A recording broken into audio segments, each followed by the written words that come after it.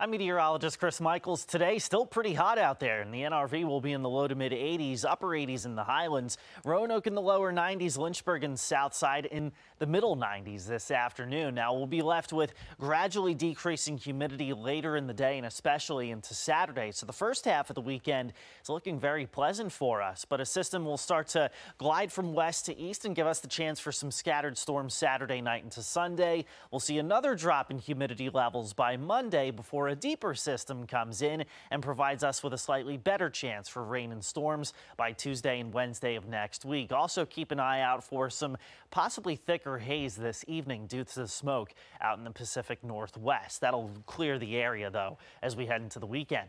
So for our Saturday and Sunday temperatures in the low to mid 80s. So today is the hottest of at least the next seven. In fact, as you look toward the middle of next week, temperatures cooler than average will only top out in the 70s for most of the area Tuesday and Wednesday as showers and storms increase.